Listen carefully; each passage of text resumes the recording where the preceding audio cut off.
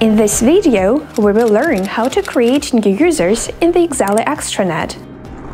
To do that, click on your login in the top right corner and select the Customer Portal section. The Users and Rights section will open. Click on the Add User button. Fill in the required fields. Give users a unique email. By default, the user's name is set as a login. You can change it if you wish. Indicate the employee's first and last name,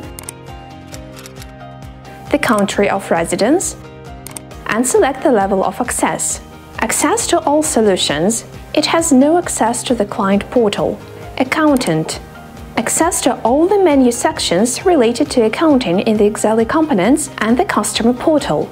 Administrator. Access to menu sections meant for the booking and availability management, marketing management, access to the marketing menu section, housekeeping, access to the housekeeping section, viewing brief information on bookings and several reports.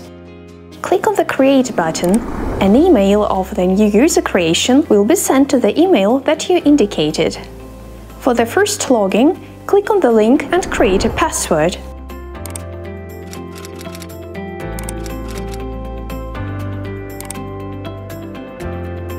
This is how you create new users in the Exely extranet. If you have extra questions, feel free to contact us. You can find our contact details in the lower left corner of your extranet, or you can also use our knowledge base.